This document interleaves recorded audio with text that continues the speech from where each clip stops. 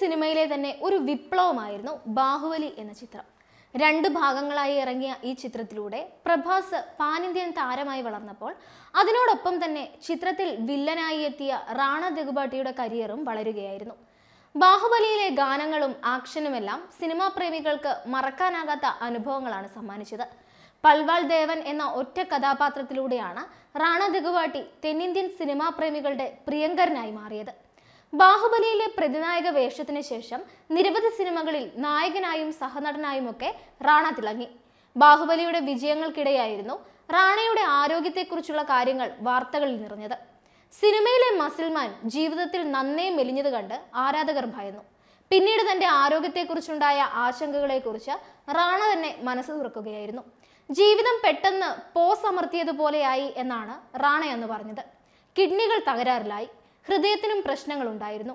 B P സ്ട്രോക്കോ ഹെമറേജോ വരാൻ എഴുപത് ശതമാനം സാധ്യത മുപ്പത് ശതമാനം വരെ മരണസാധ്യത എന്നിങ്ങനെയാണ് ഡോക്ടർമാർ പറഞ്ഞിരുന്നതെന്ന് റാണ വെളിപ്പെടുത്തിയിരുന്നു.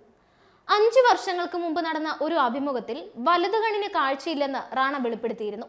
ചെറുപ്പം മുതലേ തന്നെ വലതുകണിന് കാഴ്ചയുണ്ടായിരുന്നില്ല. പിന്നീട് ഒരു മഹത് വ്യക്തിയുടെ മരണശേഷം അദ്ദേഹത്തിന്റെ ഒരു കണ്ണ് കോർണിയൽ ട്രാൻസ്പ്ലാന്റിലൂടെ റാണയ്ക്ക് മാറ്റിവെച്ചു. പക്ഷെ നിർഭാഗ്യവശാൽ റാണയ്ക്ക് കാഴ്ച തിരിച്ചു കിട്ടിയില്ല. ഇപ്പോഴും ഇടത് കണ്ണടച്ചാൽ റാണയ്ക്ക് ഇരുട്ട് മാത്രമാണ് കാണാനാവുക. മറ്റൊരു ഞെട്ടിപ്പിക്കുന്ന വിവരം കൂടിയാണ് ഇപ്പോൾ റാണ പങ്കുവച്ചിരിക്കുന്നത്. കണ്ണു മാത്രമല്ല തന്റെ വൃക്കയും മാറ്റിവെച്ചിട്ടുണ്ട് എന്നാണ് അദ്ദേഹം ഇപ്പോൾ വ്യക്തമാക്കുന്നത്. എന്നിട്ടും തളരാതെ നിൽക്കുകയായിരുന്നു അദ്ദേഹം.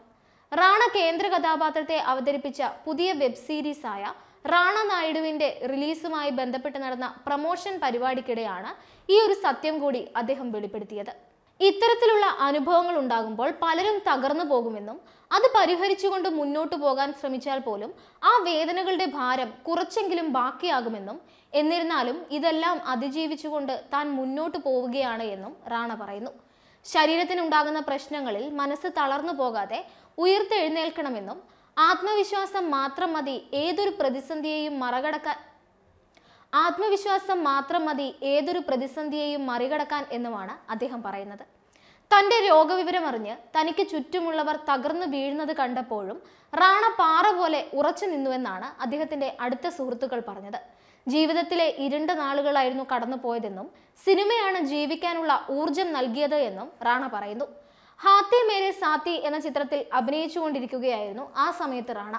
റാണയുടെ ആരോഗ്യം തിരിച്ചു പിടിക്കും വരെ സംവിധായകൻ പ്രഭു സോളമൻ കാത്തിരുന്നു എന്നും പ്രശ്നങ്ങളെ മറികടന്ന് നായകനായി ഉയർത്തെഴുന്നേൽക്കാൻ സിനിമകളാണ് തന്നെ പഠിപ്പിച്ചത് എന്നും പ്രഭുവിനോടുള്ള സ്നേഹവും നന്ദിയും പറഞ്ഞറിയിക്കാൻ കഴിയില്ല എന്നും നന്ദിയോടെ റാണ ഓർത്തെടുക്കുകയാണ്.